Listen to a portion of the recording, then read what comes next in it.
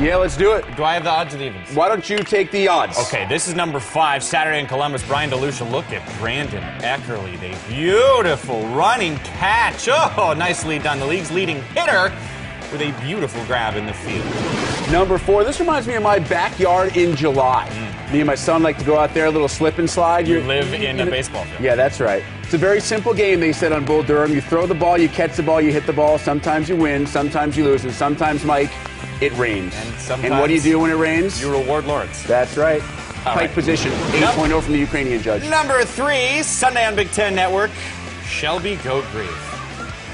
Go Grieve.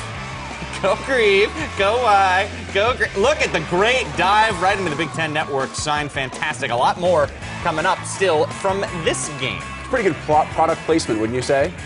Yes. You could actually say it better than me. Perhaps, No. Perhaps in English. Number two, Friday afternoon, Illinois at Michigan. Back to the baseball diamond.